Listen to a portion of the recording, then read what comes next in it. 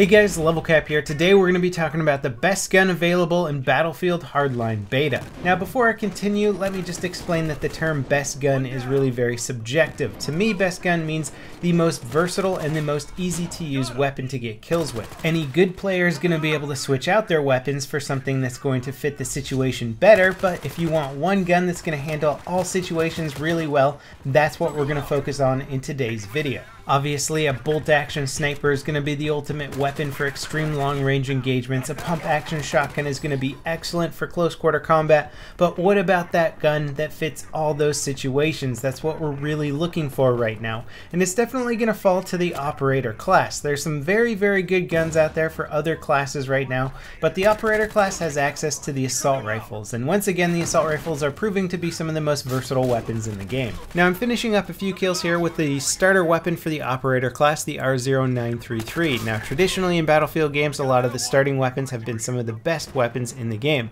Not the case here with the R0933. This is a very, very underpowered carbine.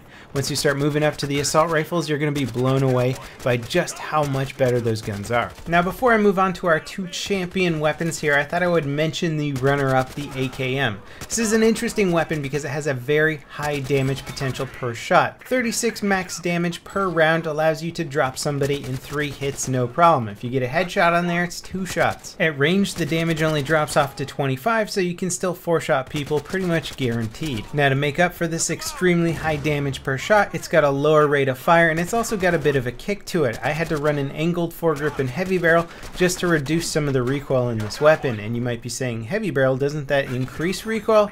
Not in Battlefield Hardline, it actually reduces your recoil. However, the benefits you get from it are really only experienced while stationary. If you're moving around, you're actually going to have lesser accuracy. Without question, this assault rifle is good, but it also requires a high level of skill to be effective with it.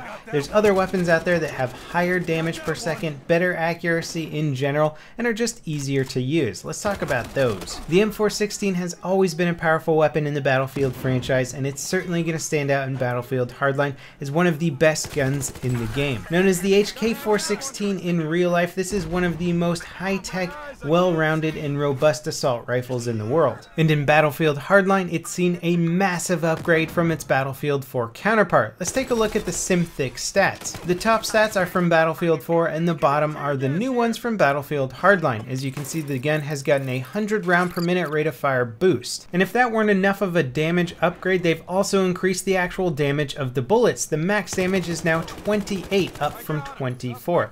That means you're going to get a guaranteed 4 shot kill in up to 40 meters. Look at the damage drop off. It doesn't even start dropping off until 40 meters away. So think of it this way, the M416 was already an extremely good gun in Battlefield 4. It's now that exact same gun, except it shoots a lot faster and does a lot more damage. In fact, the only downgrade it got was a reduction to its reload speed, 2.21 seconds for short, 2.6 for its long.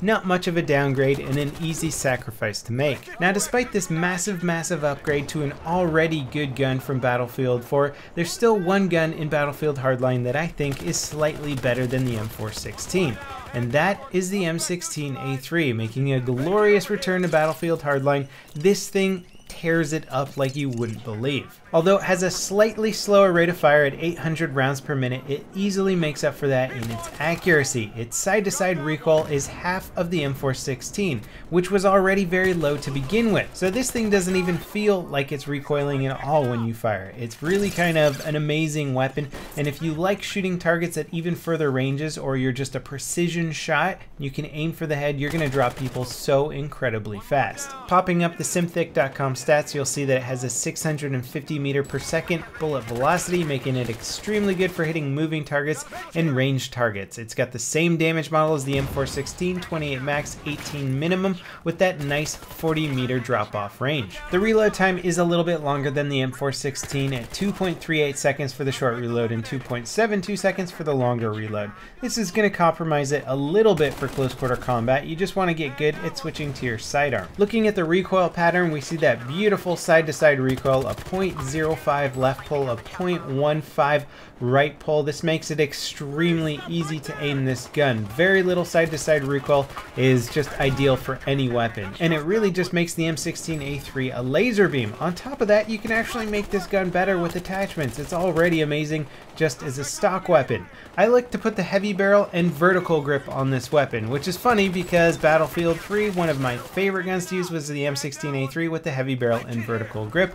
Again, Battlefield Hardline is the same case. Just like in BF3, this combination of attachments canceled out the negative aspects of them, so it just gave you a more accurate gun in general with no bad side effects. The stubby grip and muzzle brake are another combination of attachments that will go really well on most weapons. They cancel out each other's bad effects, and that particular combination will be really good for taming guns that have higher side-to-side -side recoil. Obviously, I'm still using the Cobra sight on this weapon, my preferred sight now, and uh, this is really just a whole lot of nostalgia for me. It's the exact same setup I was running in BF3, and I've been having these flashback moments of Battlefield 3 combat. It's just faster paced, the guns feel a little bit snappier, and that laser beam M16A3 it's like BF3 all over again, and that's certainly not a bad thing in my book. Now, of course, this is the Battlefield Hardline beta, and I've already heard the devs talking about balancing out some gun stats and stuff like that, so if these stats don't remain for the final release of the game, I would not be surprised at all. Without question, some guns either need to be buffed or some of the best guns need to be nerfed.